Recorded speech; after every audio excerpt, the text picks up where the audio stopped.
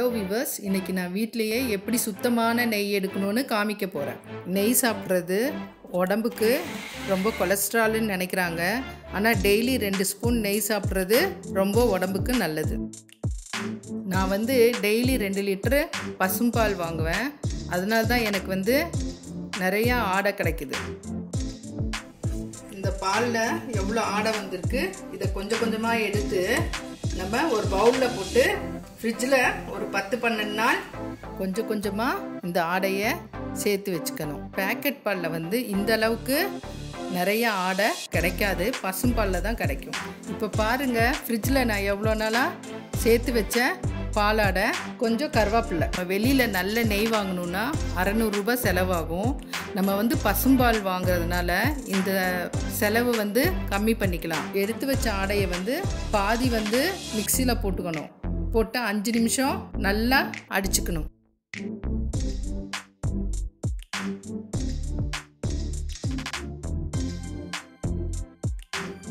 First அடிக்கிறப்போ இப்படி கெட்டியமாக வரும். அதுக்கப்புறம் நான் கொஞ்சம் ஃப்ரிட்ஜ் தனியாக போட்டு மறுபடியும் ஒரு ரெண்டு நிமிஷம் அடிக்கணும்.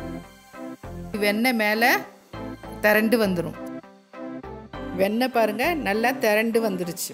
இதை நம்ம ஒரு பவுலில் போட்டு வச்சுக்கிட்டோம். எப்போதுமே வெண்ணெய் எடுக்கிறப்போ காலையிலே எடுத்துடணும். மத்தியானம் அந்த மாதிரி எடுத்திங்கன்னா வெண்ணெய் நல்லா திரண்டு வராது. இந்த பசும்பாலில் இருந்து நமக்கு வெண்ணெய் கிடைக்குது நெய் கிடைக்குது மோர் கிடைக்குது. எல்லாமே ஒரே இதில் கிடைக்குது. இப்போ இந்த வெண்ணெயை எடுத்து வேற ஒரு பவுலில் போட்டுக்கணும். வெண்ணெய் தனியாக வந்துடும் அது இல்லாமல் நமக்கு வந்து ரெண்டு லிட்ரு மூணு லிட்ரு திக்கான மோர் கிடைக்கும். இது புளிக்கவே புளிக்காது. ரெண்டு நாள் கூட நீங்கள் வெளியிலேயே வச்சு யூஸ் பண்ணலாம்.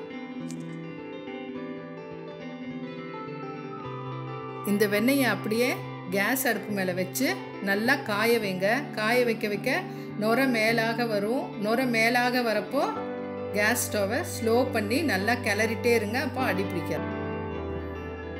இந்த நுர வரப்போ ஒரே ஒரு கல்லுப்பு போட்டிங்கன்னா அந்த நுர வந்து அப்படியே லேசாக அமுங்க ஆரம்பிக்கும்.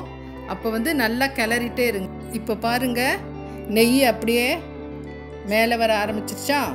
பொதுவாக நெய் எடுக்கிறப்போ முருங்கை இலையை தான் எல்லாரும் போடுவாங்க.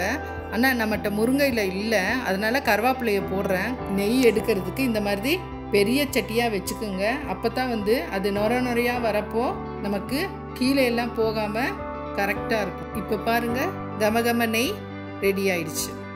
இப்போ நம்ம காய வச்ச நெய்யை ஒரு கண்டெய்னரில் போட்டு வச்சுக்கணும். பாருங்கள் அரை லிட்டர்லேருந்து முக்கால் லிட்டர் வரைக்கும் கிடச்சிருச்சு. இது கொஞ்சம் நல்லா ஆற விட்டுறணும். ஆற விட்டதுக்கப்புறம் மூடி போட்டு வச்சுக்கோங்க.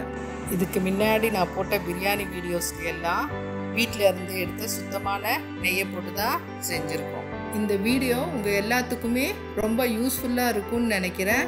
பிடிச்சிருந்தா லைக் பண்ணுங்கள் சப்ஸ்கிரைப் பண்ணுங்கள்